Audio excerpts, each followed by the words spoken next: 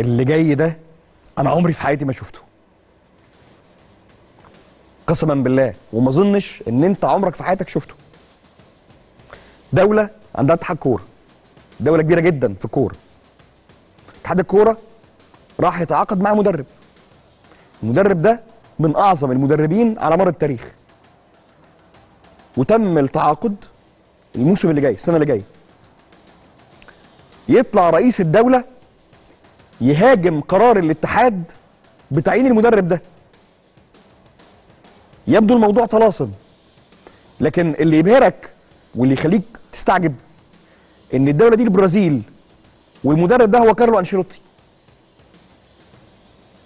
متخيل إن كارلو أنشيلوتي المدير الفني الحالي لريال مدريد واللي تم الاتفاق معاه بشكل رسمي إنه بعد نهاية الموسم اللي جاي يصبح هو المدير الفني للمنتخب البرازيلي؟ كين كارلو. فيطلع رئيس البرازيل في تصريحات إذاعية والحقيقة أنا هنا مش قادر أفهم. يعني هل هل ده يجوز أصلا؟ يعني هل ده بيحصل؟ إنه الاتحاد يعين مدير فني على غير رغبة رئيس الدولة؟ والفكرة إن رئيس الدولة طالع بيهاجم فبيتكلم في الكورة. يعني طالع بيهاجم القرار فبيشرح هو أنا ليه قلت كده؟ تعالوا نبص بقى السند بتاعه إيه.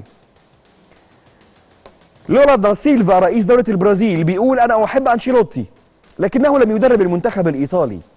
لو كان يود حل مشكلة المنتخب البرازيلي فلماذا لم يحل مشكلة المنتخب الإيطالي الذي لم يتأهل حتى إلى كأس العالم الماضية؟ من السهل قيادة فريق في أوروبا مكون من 11 لاعبا دوليا بمنتخبات مختلفة.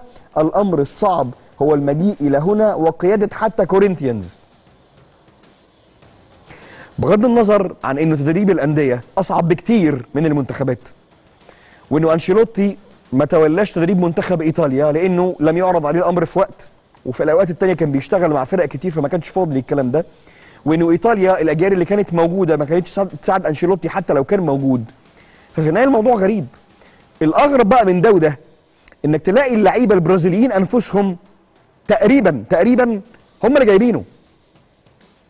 يعني كابيلو امبارح بيتكلم بيقول له خد بالك اللعيبة هم الأساس. وحظك إن البرازيليين اللي معاك في ريال مدريد أو حتى اللي مش معاك في ريال مدريد لكنك دربتهم قبل كده موجودين. أنت لو فكرت تعد من من الخط الخلفي لحد المهاجم هتلاقي ميليتاو فينيسيوس رودريجو كاسيميرو دول أربع لعيبة.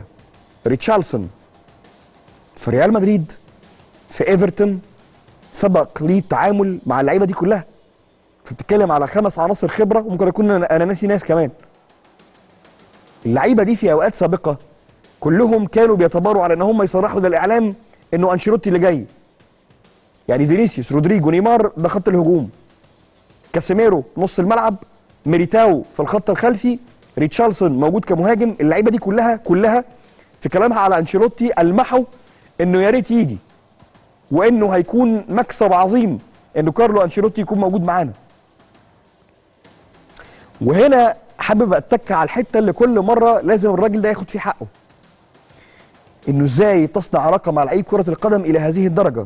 قلت هنا قبل كده إن الراجل ده تعامل مع أصعب الشخصيات على مستوى العالم بنجاح كامل.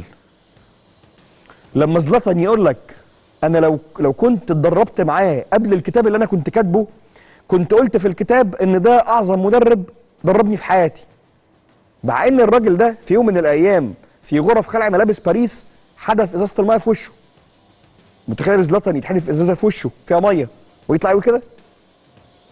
هل سمعت كريستيانو بيتكلم عن سير أليكس شخصيا أو زيدان أو أي مدرب تاني ويقول عليه إن ده الشخص الوحيد اللي أتمنى أرجع أتدرب معاه؟ قال كريستيانو ده على كارلو أنشيلوتي.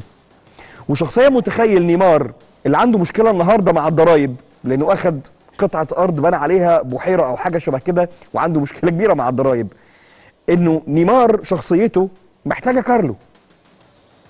وإنه تغيير سلوك ونمط بعض اللعيبة وحتى المراكز الخاصة باللعيبة ونقطة فارقة ان رودريجو وفينيسيوس وجايين لها بعد شوية غالبا هيتغير مركزهم مع الراجل ده في ريال مدريد.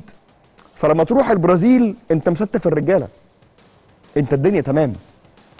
لكن ان يتدخل رئيس الدولة ويخش ويعلي على اتحاد الكورة ويقول لهم قراركم خاطئ ده أول مرة في حياتي أنا أشوف حاجة زي كده.